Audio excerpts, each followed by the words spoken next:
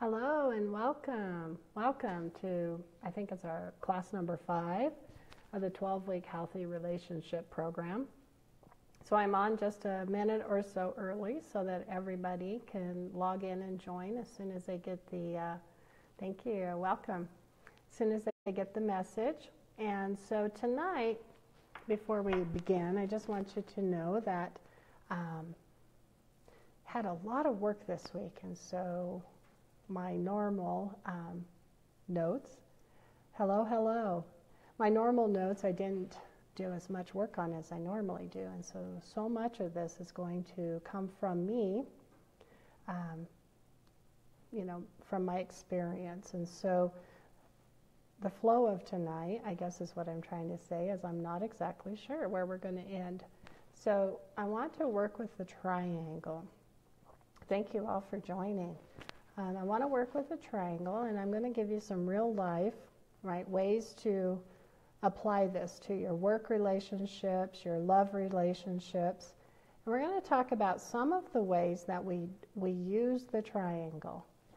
And so I've talked in the past about complaining, gossiping, withholding, lying. And we're, gonna, we're going to really get into the details of this so that you can see how we all do it plus what other people do.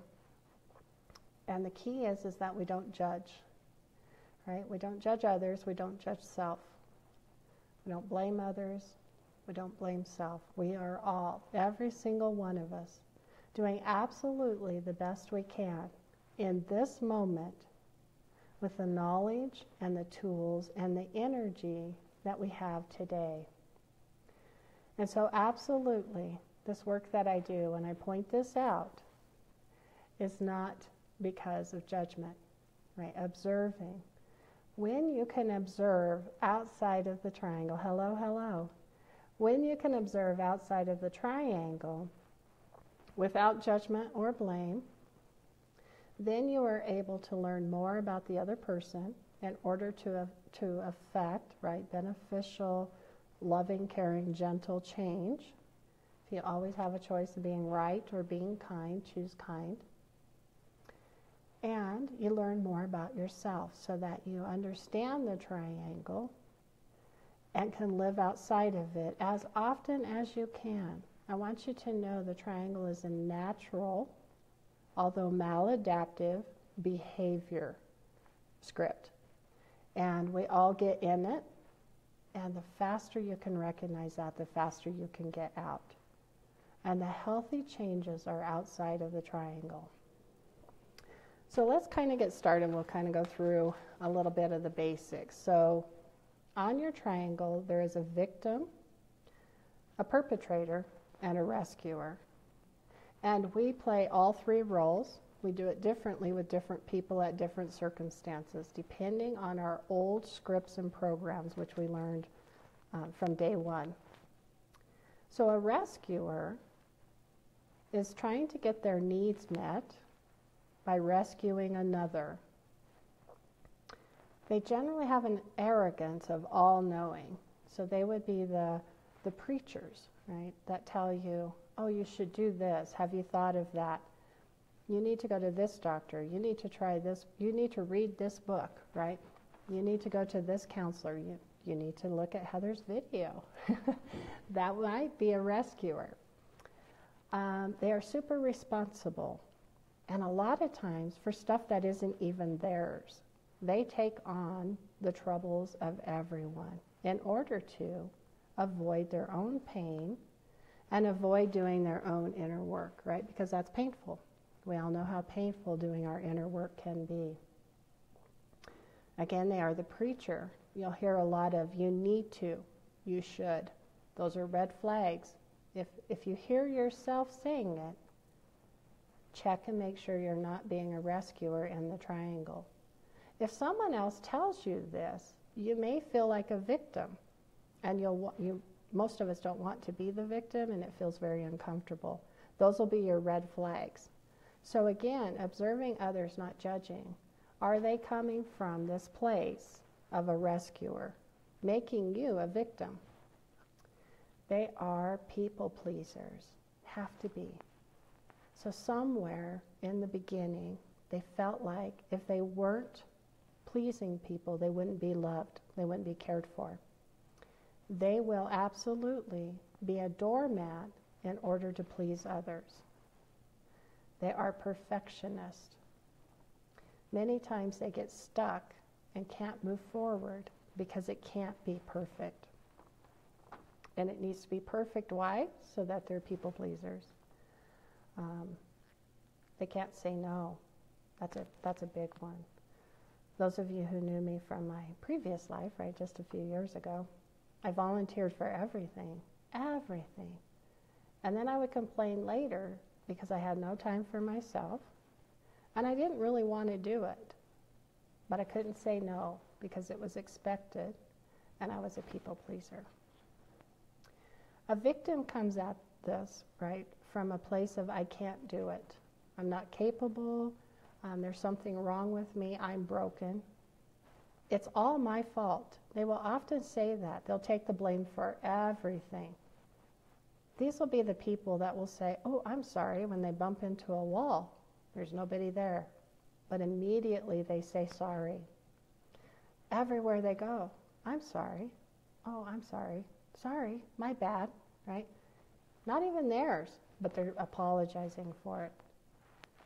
That's a, that's a red flag, a victim. So if you are, and so many of you are that I know, chronic apologizers, you apologize for breathing, right? Be more gentle on yourself. That's your red flag that you are in a victim, right? A victim role. Most of the time, victims don't believe there's any other choice, right? It's that one, the horrible one. There's nothing else we can do. Nothing anybody can do. Right? That's just the way it is. We have to we have to live this way because there's no other choice. And you'll hear that even though there are obviously two or more choices. But because the one doesn't fit what they want, right, and an attachment to the outcome, we'll talk about that, then there are no choices. And that often they're stuck in despair. The woe is me, right? So perpetrators are your bullies, and hurt people hurt other people. They are hurting. And they will criticize or blame in order to avoid their own pain. So, hurt people hurt other people. They judge, they blame, they criticize. Many times they are silent, they withhold. We're going to talk about withholding information. Last week I told you, in most situations, unless it's legal or a policy or regulatory, human to human connections, withholding information is as um, hurtful, painful, um, unhealthy as lying. And we'll talk about that. Use sarcasm, right? A lot of times they want to tell you something that's hard, and, and they'll cover it up in humor and sarcasm. Because why? Then you can't say anything back. It was just a joke. Welcome all. Welcome all. Um, and they're passive aggressive. Passive aggressive is a way of bullying because it's not authentic and it's not honest. And whether they're making you a rescuer or a victim, you have nowhere to go with the passive aggressive style. So, again, to get out of the triangle, learn to say no, set your boundaries, listen to, sorry about that, listen to self, feel the feelings, have no agenda, release your attachment to the outcome. Do something different, make I statements. This is really big. This was big for me. I never spoke in the first person. I always spoke in the, in the third person, you, or second person, whichever one that is. Um, be assertive. And by being assertive, find and speak your truth without judgment or blame. That was extremely hard for me. I was one of those withholders of information. Um, didn't didn't ever want to hurt anyone. Welcome, Barry. Didn't want to hurt anyone, so I withheld information. And if all of you can let me know if you can hear me okay, that would be great. I would appreciate that. Um, just hit the like or love button. So I would withhold information in order to not face, you know, the truth or whatever. So withholding information is a big one. All right. Welcome all. Thank you. So let's talk, let's talk about withholding, right? And it happens in your love relationships. Withholding happens in your work relationships. And again, we're talking about human to human connections. Um, it's similar to lying. Now, if you can't for legal reasons, right, or regulatory reasons, or policy reasons, you have to withhold information. I'm Another one, sorry about that. Um, understand that if you withhold information outside of these issues, right, there's an agenda or an attachment to the outcome. All right. So a perpetrator, right, the bully, withholds information with the intent right, to create an outcome of their choosing or um, to have an agenda. And both of those are, are closely related. So imagine that if a person had the information that you were withholding, they would choose differently. You have an attachment to the outcome. You absolutely do. You're not being authentic. If the other person needs that information in order to make a choice of their choosing, you withholding the information changes their game. Changes their game, and you do not have the right to do that. So, with honest communication, bring everything you know to the table and allow the other person to make a choice, a choice that works for them. It's really hard. Sometimes people leave us. Sometimes we lose our job. Sometimes we don't get the position we wanted. But withholding the information is not healthy. It's not healthy for you and it's not healthy for them. So rescuers withhold information as well.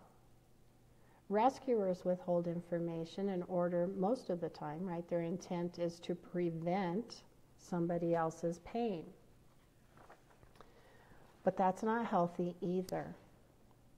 Because the other person, right? The other person may need whatever this information is for their own personal growth. Be it painful it is absolutely necessary for their growth. It can stall them coming into their own power. It can stall them from learning about themselves, right? Their own strength. We see this a lot with our children, right? We don't want them to go through anything sad. We don't want them to have pain. We don't want them to be, um, you know, ostracized, bullied, not not part of the group. And we, we rescue, we withhold them, withhold um, information that might make them feel bad. We're not really helping them. We're not rescuing them from themselves, right? We're rescuing them from their natural growth. And a victim, most of the time, will withhold information to avoid responsibility.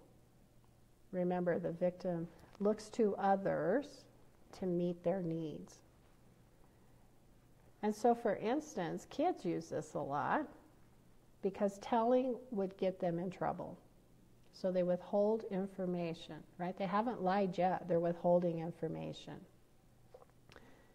When they do that, right, they're withholding information because they feel they will get in trouble. And they might, they might not, but they feel it they are automatically making the other person a perpetrator. The other person doesn't even know yet that they are going to be a perpetrator. So many times they'll also do that because they don't feel they can do something. So they will withhold information and won't say anything. And the victim feels like they're powerless and they can't do it. And so they'll just not tell anyone. Almost always catches up, right? And then they deal with it then. But at the time, they're withholding information. So if any of you guys have any questions about this, please type it in. Um, hit the like and love. If you can see this in others or yourself, especially in a work relationship, right? How withholding information um, is not authentic communication. It's not good for you and it's not good for them. And again, this is human to human.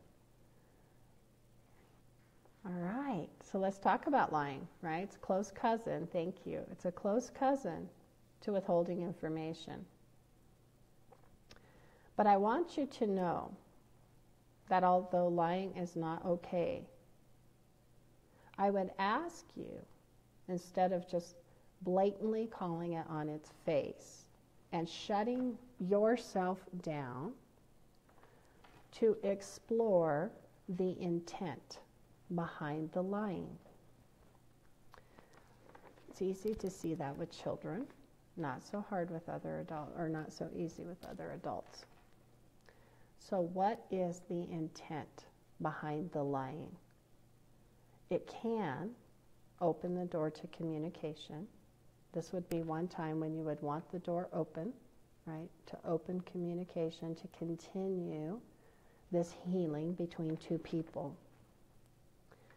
I will tell you that a perpetrator generally has an intent in lying to hurt because hurt people hurt other people. That's usually the motive behind their lying. A rescuer is generally trying to spare the feelings of the other. They're trying to spare them from hurt, from the hurt or the pain of the truth. And I want you to hear the difference between the intent to hurt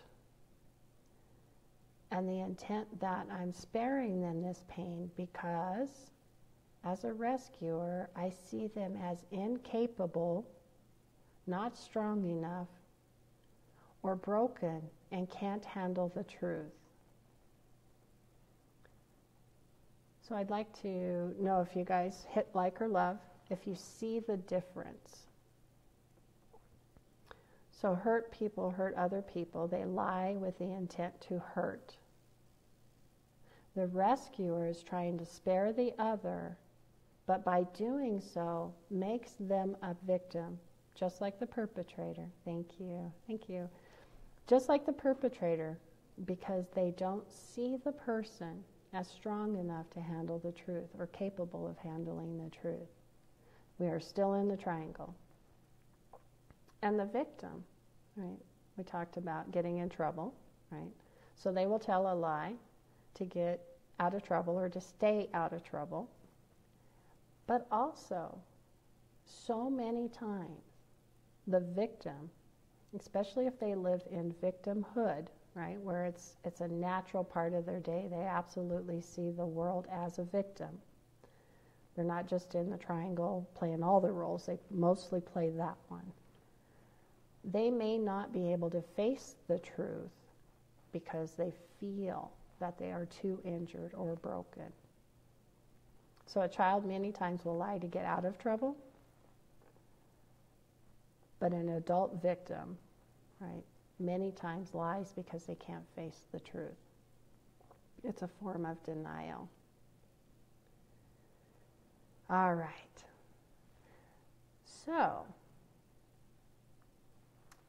I want to move into lying and expand it as part of, of you know why we lie is shame, guilt, and denial.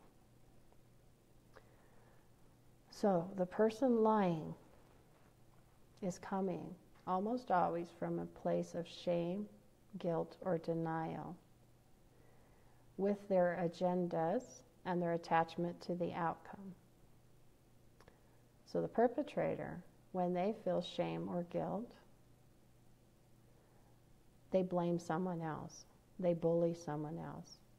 They lie with the intent to hurt another in order to avoid their own feelings, the shame or the guilt.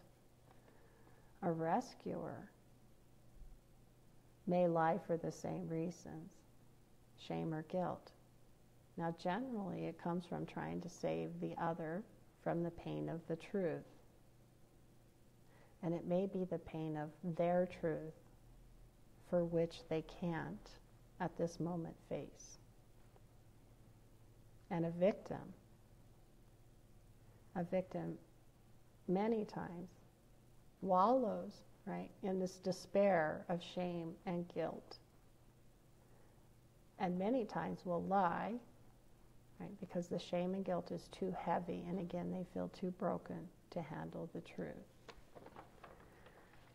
So, in order to get out of the withholding and the lying, whether it's a work relationship or a love relationship or even your children, right? Parents and children. You must first do something different.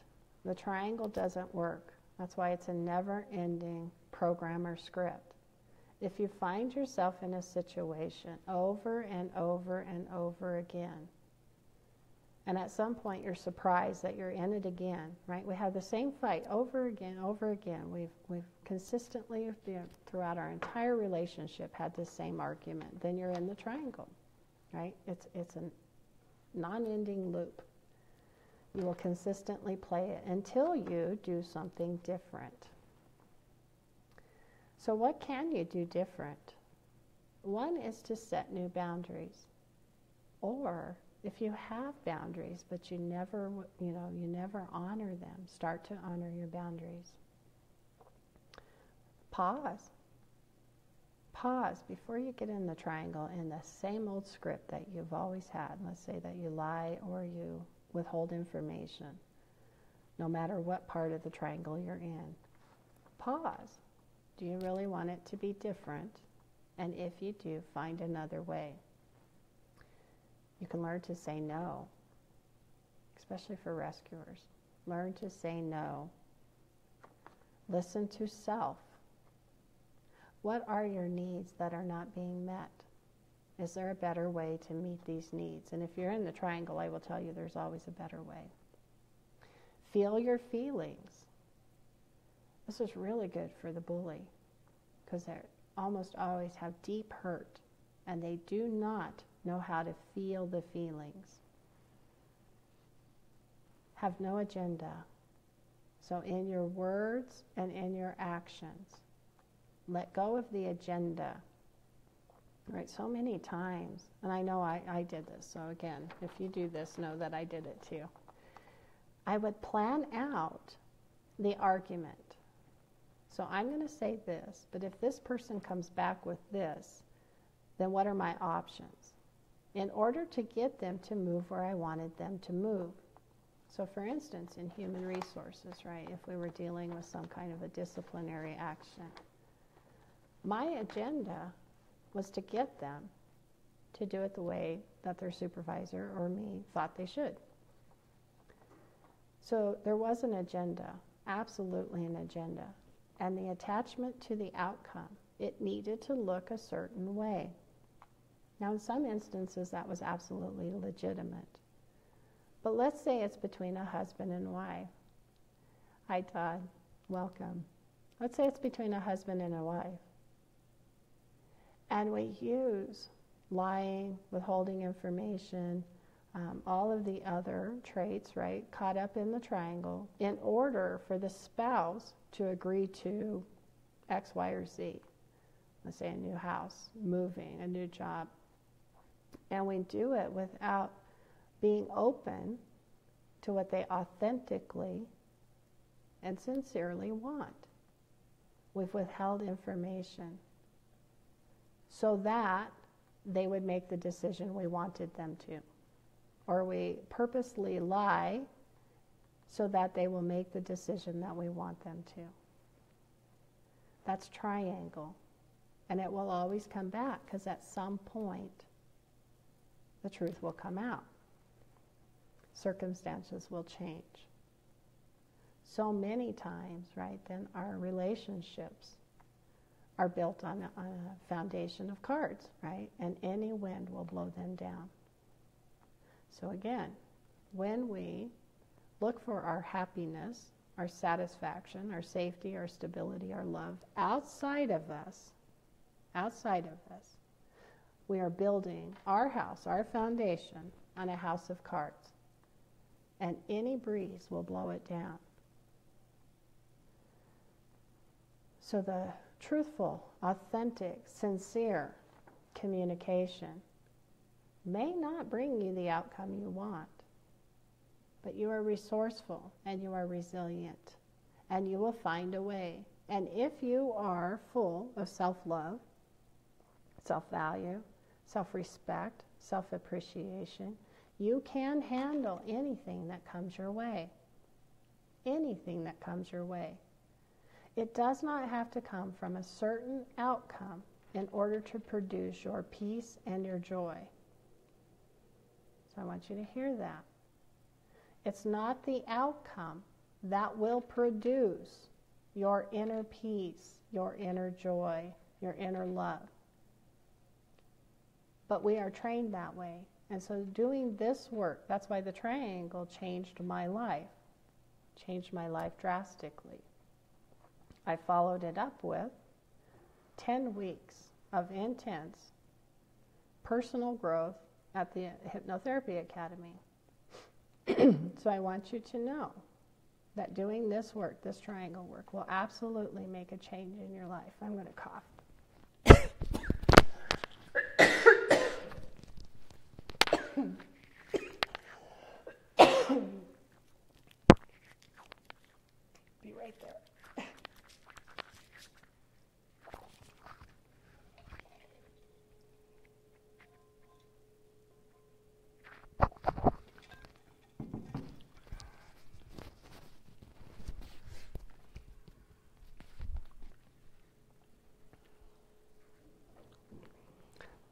Sorry about that. Still fighting allergies.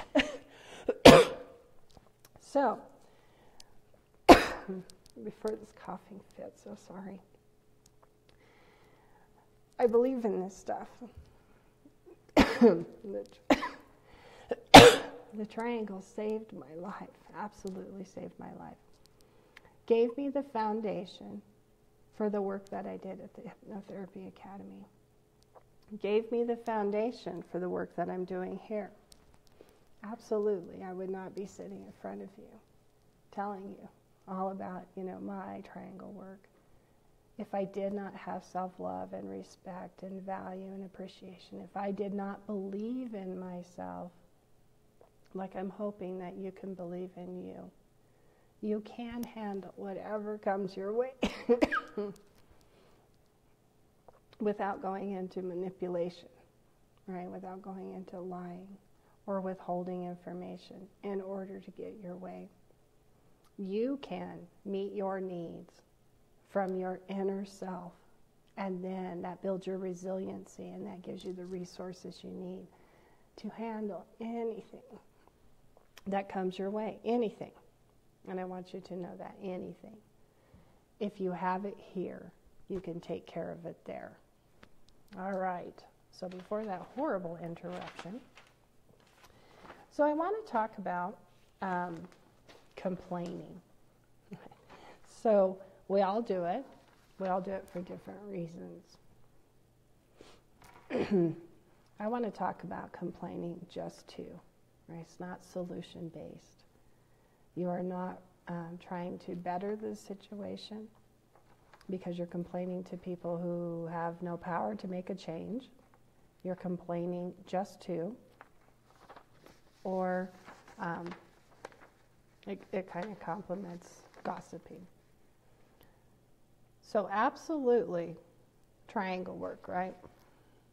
The perpetrator, when they complain, absolutely, they're judging and blaming and criticizing. And it's done in order for them to feel better about themselves. So they may be lacking self value or self respect or self appreciation, whatever that is that they're lacking. And complaining, making somebody else lower than, makes them feel better than. And it absolutely helps them to feel better about themselves, right? They're getting their needs met by judging, blaming, or criticizing someone else or how it's done. So you will often hear them say they're not doing it right. They are not doing it right. They don't know what they're doing. But whatever it is, they, they're not doing it right. The rescuer comes at complaining from that arrogance of all knowing, right? They know what's best for people. They know what's best for people. That's a, a trait of the rescuer.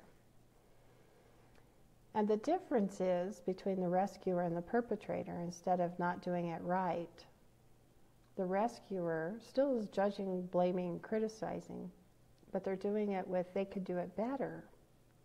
Right? If only they would do this, it would be better because they have all knowing.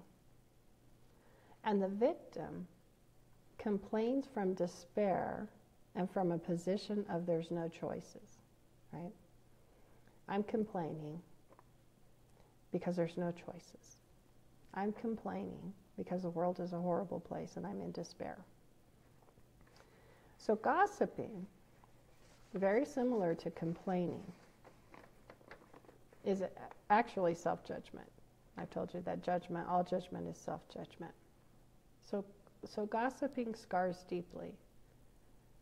Complaining isn't a lot better, but gossiping is always um, manipulative and malicious. It just is. And it scars deeply because anything horrible you say from your mouth to another or listen with your ears goes in. It goes in and it affects you in here, your belief system.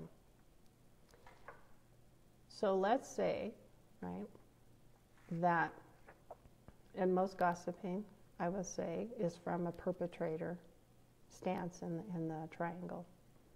If you are the speaker, you are the one that initiates the gossip.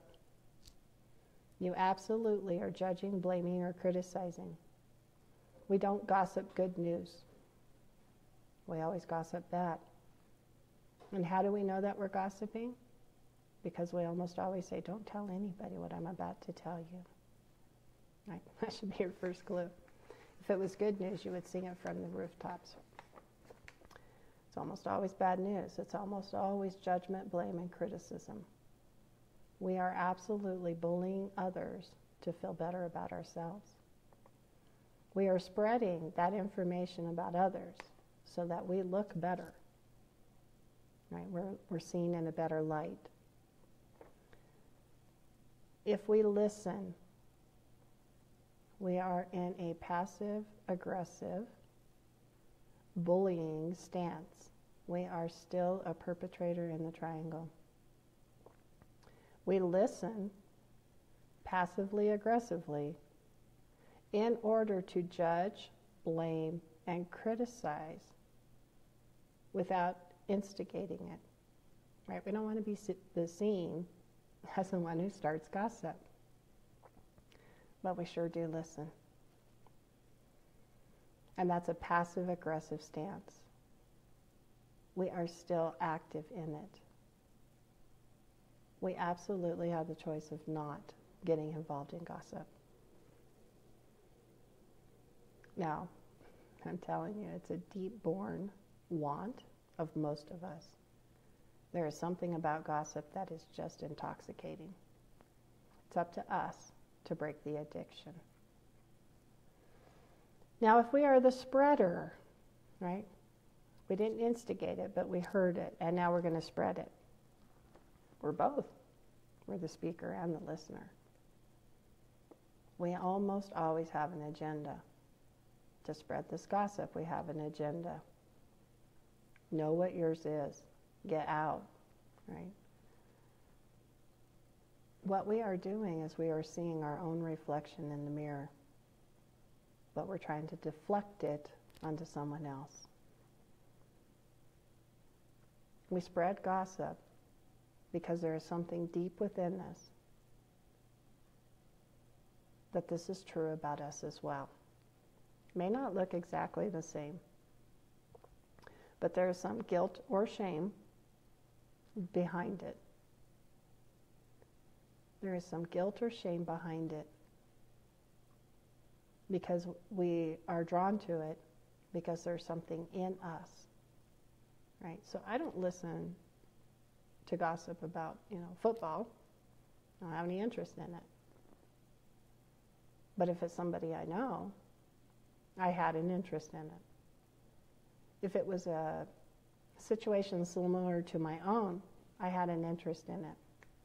If it was somebody else's kids, right? Because I had kids. So if it was about their kids, I had an interest in it. So I want you to know it was difficult for me to look inside and to see that that could possibly be true about me. So when I heard, right, I was introduced to the fact that this was a mirror of me. That was a hard one. But if you'll allow it and you'll follow it, right? I told you, all of it, follow it in. Find out what your gunk is. Work on it, and the gossip won't be intoxicating. It won't have the same draw, right? The same hook. So, for instance, with my children, again, I'm a rescuer, I'm a people pleaser, I'm a perfectionist. The gossip was my barometer of how good of a mom I was.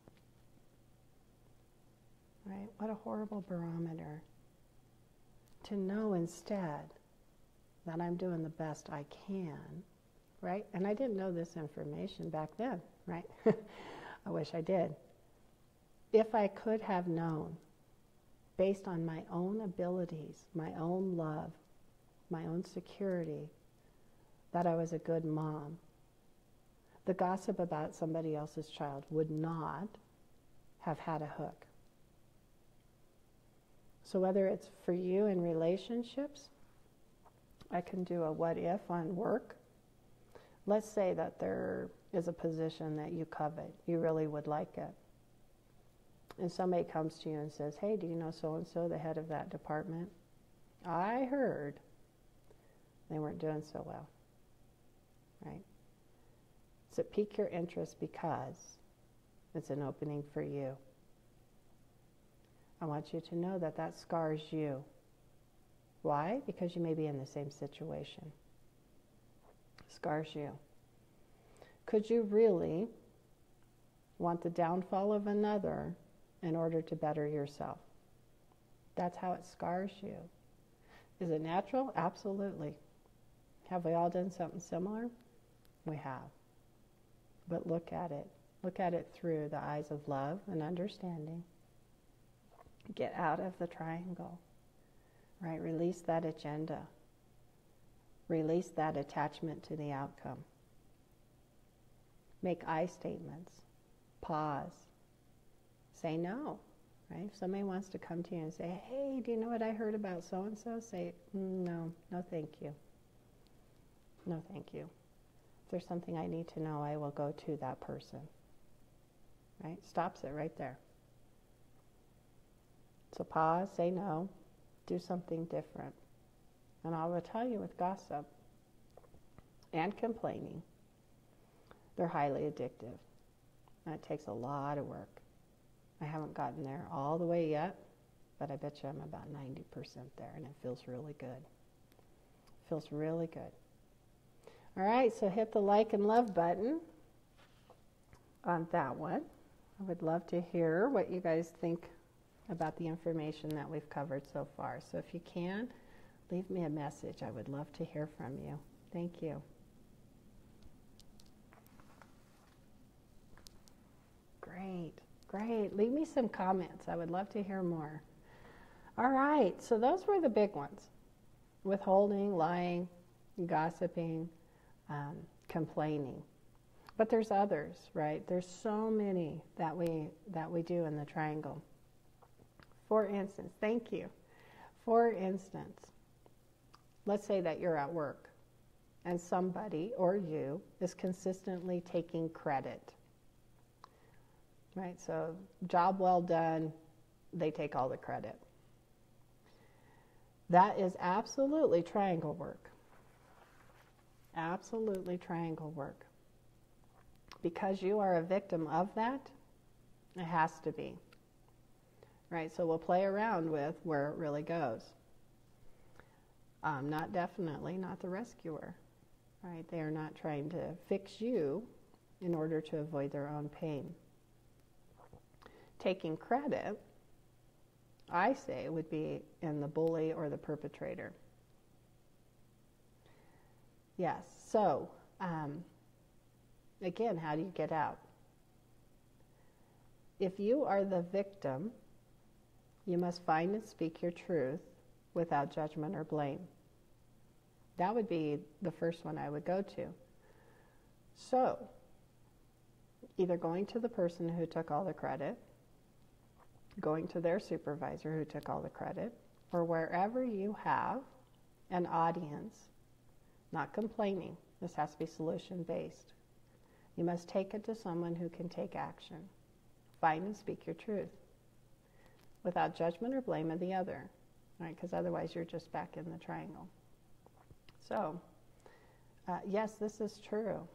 And there were many people that were on this project that brought it to the successful conclusion.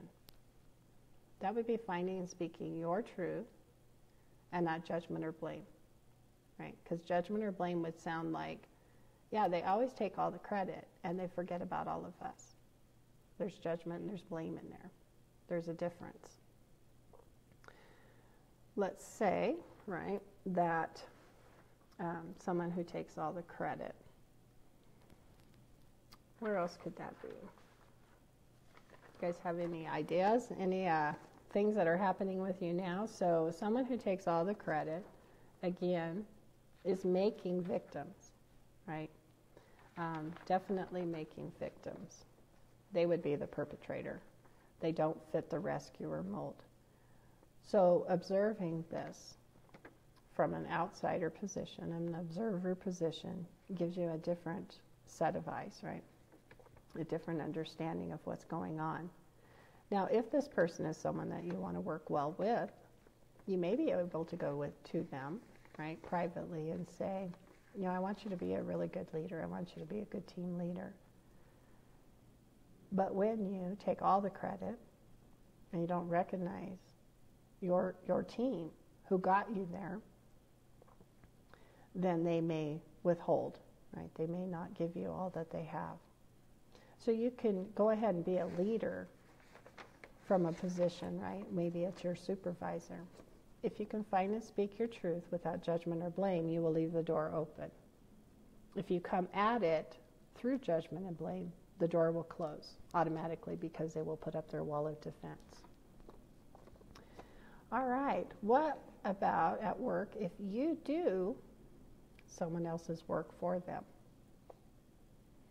You consistently are taking on a heavier load. Sometimes, and this was one of mine, it was just easier if I did it myself. So I'd love to hear, I'd love to see the like button if you have ever said that. It's just easier if I do it myself. It takes too much time to train them. It takes too much time, right? It takes too much time to train them. It's just easier if I do it myself. It is their job, but I'm going to do it because it's just easier if I do it myself. That is a rescuer, and you are creating a victim. And you're doing this because you do not think they are capable of doing it themselves. You haven't helped them. You haven't helped you. they need to be able to do this work. If it is in their job description, let's say it's a job you're passing down or passing along, you continuing to do it doesn't help them and it doesn't help you. What if you continue to do someone else's job or carry a heavier load, right, an unfair load, because you don't want them to get into trouble? So hit the like or love button if you recognize yourself. If you don't want them to get in trouble, but are you really helping them? Just like our children, and never wanting them to feel pain or hardship. We stunt their growth we stall it. We absolutely do. So we're somewhat playing with Mother Nature, right? because they need the lesson, they need to know how. We give them a greater gift. This is for your rescuers out there. We give them a greater gift when we help them stand on their own, when we help them come into their own power. All right. So we talked about lying, withholding. I want to talk about retaliation, and especially in personal relationships. That would be a this for that, right? If you do that, I'm going to do this, right? And it is absolutely a perpetrator victim issue. Very rarely does a rescuer do, do that because they're almost always trying to rescue somebody from themselves. It's the retaliation would fall into the perpetrator role. We are absolutely using manipulation in order to drive an outcome of our choosing. And I want you to hear, although that is so hard, we do want things to work out the way we want them to work out. We're not allowing them to be natural and organic based on the sovereignty of the other party. And let's say it is a love relationship and we deeply love this person. They should have the sovereign right to make their own decisions. And if we are coming from our personal power, from our self love, respect, value, and appreciation, if we are coming from that place, we can give them the space in order to make their own decisions. From doing that, we can then negotiate.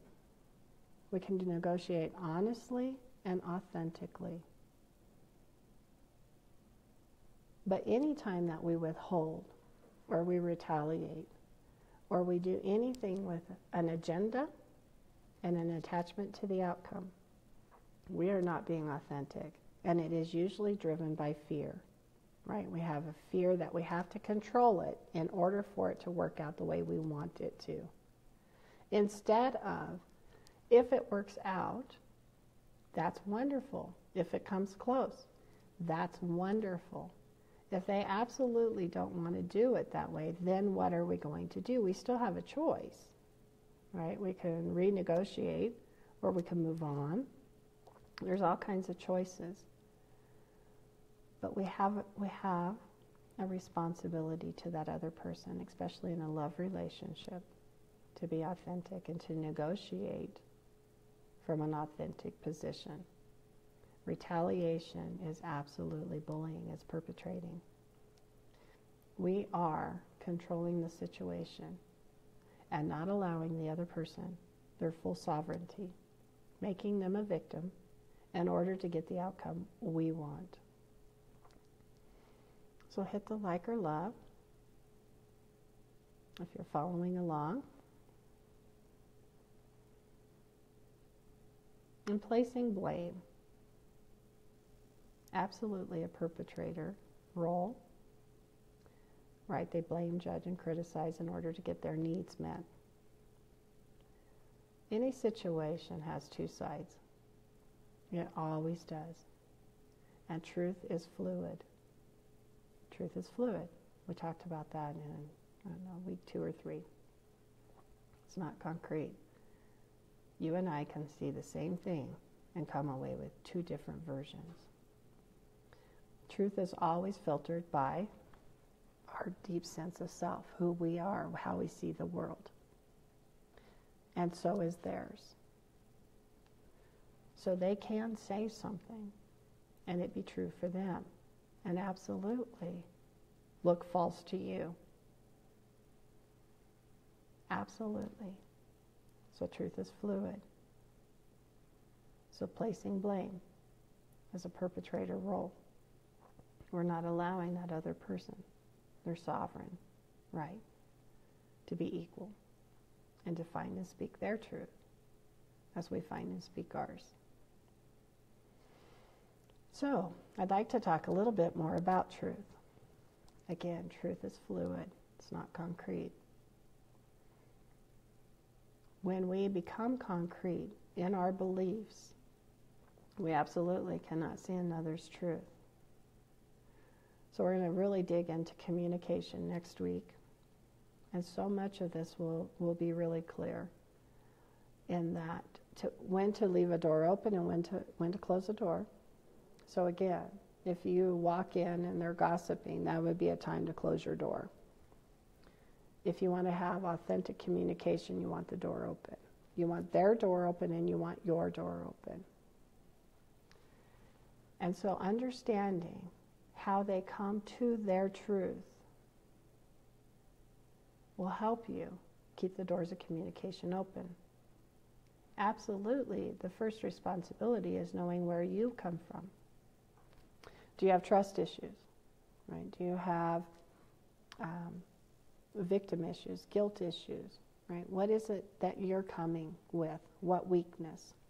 As I've told most of you, I had one of not being wanted, not being worthy, not being lovable, being a mistake, right? So those are my woundings that I come to. I come to the table with those. The old me didn't know. So anybody that I was working with, if they weren't really astute in this, right, could trigger those in me just by their words and their actions. So if I wasn't included on a committee, for instance, that would go deep into my wounding of not being wanted, not belonging. Even though it may have been legitimate, I couldn't have seen it that way because I was seeing it through my wounded eyes, my not wanted eyes. And that colored my truth, right? So when I would tell a story about not being included, it would include these threads of truth that I would weave together into a story that would support my position. And guess what? The other person in communication does as well. The other person in the relationship is doing the same. They are weaving together the threads that fit their story. Getting out of the triangle will allow you to see that work in progress. It gives you different tools, it gives you a different vantage point in order to understand you and the other person. All right, let's see what else I had written down. I'd be happy if only.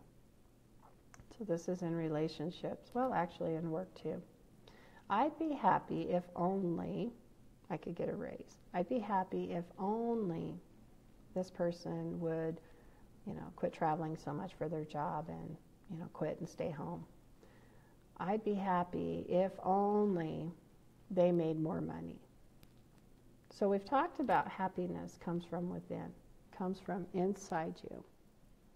You generate happiness and you take it with you everywhere you go. No outside circumstance, event, people, thing can make you happy. Just can't. Happiness comes from within. And then you take happiness to every event, person, place, thing, and you shower it with your happiness, and you become more happy with it or with them.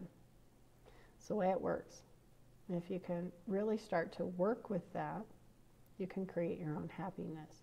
Whenever you look outside of yourself for anything, whether it's love, validation, happiness, um, you will always be disappointed. It has to be. It has to come from within. It has to be self-generated.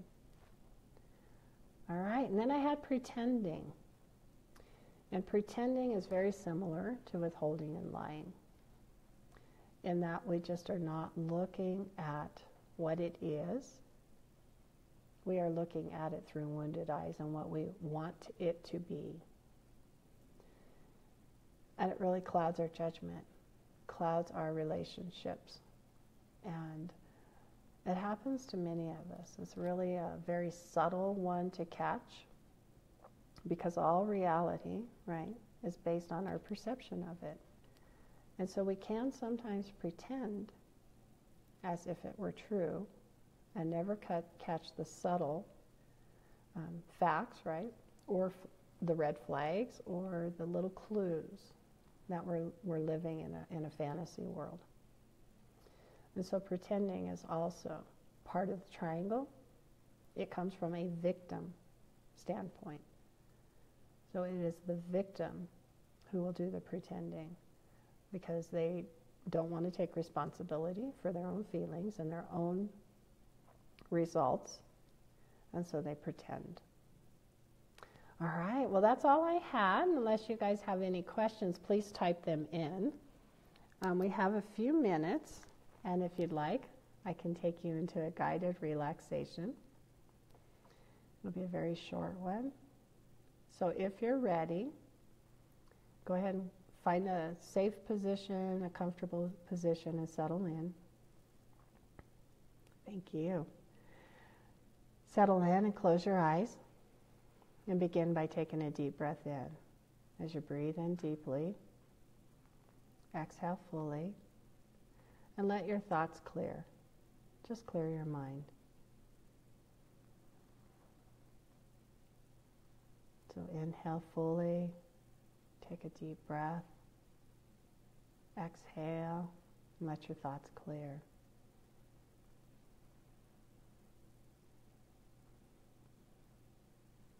And again, deep breath in.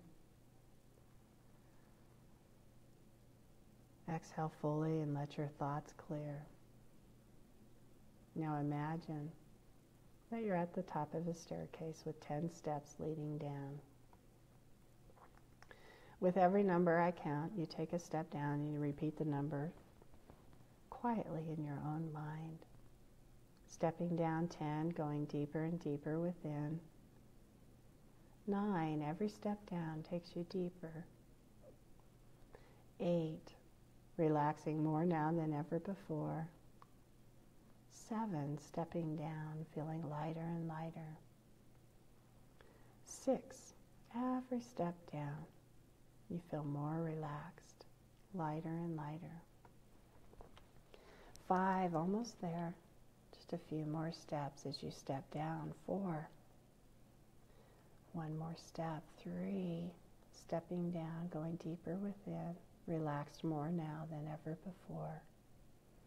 Two, doubling your relaxation as you step down. One, and one more step.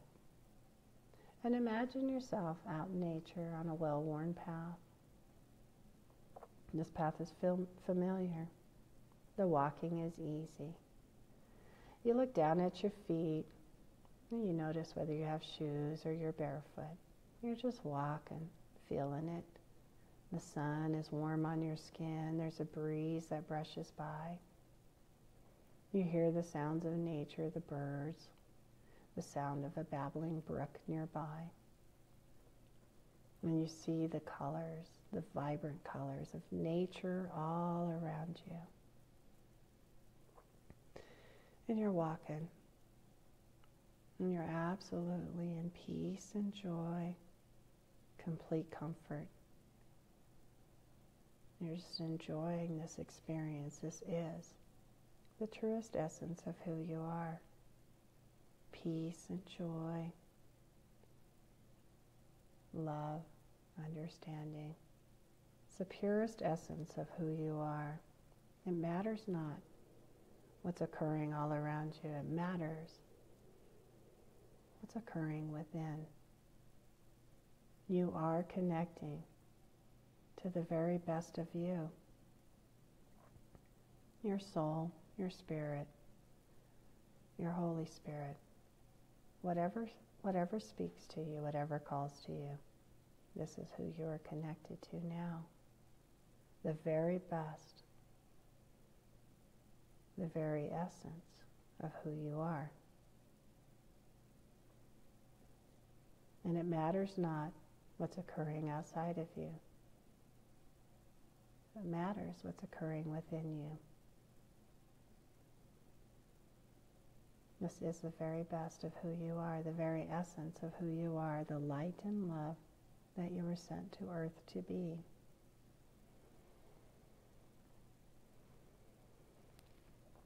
And you connect, you connect deeply to this place, surrounded by nature. You are on the right path, your path. And it was said once that you can't do it wrong and you never get it done. You just continue on the journey. It's not the destination. It is the journey, and you are on the right path.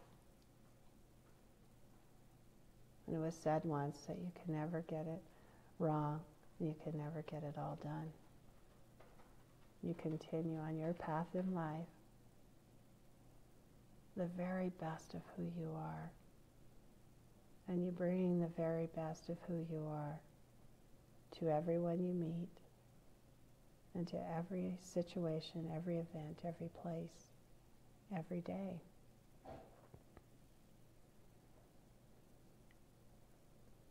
And you just allow yourself this knowing you are the very best, the very best version of you.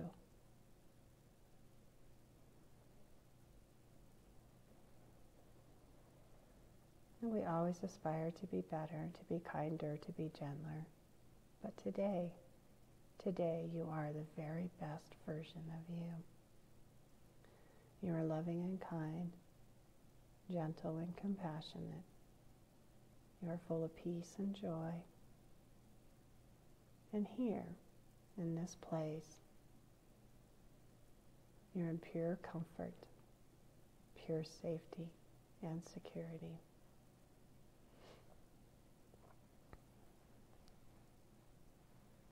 And this place is always within you, always within reach. You can come back here anytime that you want to. And go ahead and make your way back. Take your time. Make your way back to the staircase, bringing with you the very best of you, the very deepest essence of who you are, the purest essence of who you are. And you bring this back with you as you make your way to the staircase. The staircase with 10 steps leading up.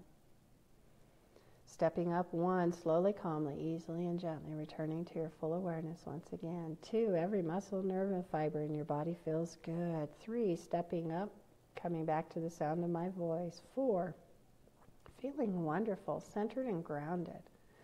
Five, bringing back with you the very best of who you are, the purest essence of who you are. Six, stepping up. Take a deep breath in. You can wiggle your fingers and toes and move your head from side to side. Seven, almost there. Eight, another deep breath in. Again, wiggling your fingers and toes, feeling centered in your body. Nine, ready to open your eyes on the next number I count. And ten, eyes open. I hope you enjoyed that.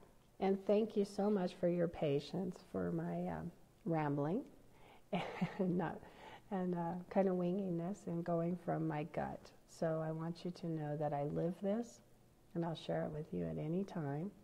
And I hope that you found this useful and purposeful and something that beneficial for your own life. And again, next week we will be doing communication because again, communication is key to all relationships. So thank you so much. I thank each and every one of you. I wish you love, light, and wonder on your journey in life. And I hope that our paths cross someday. Thank you.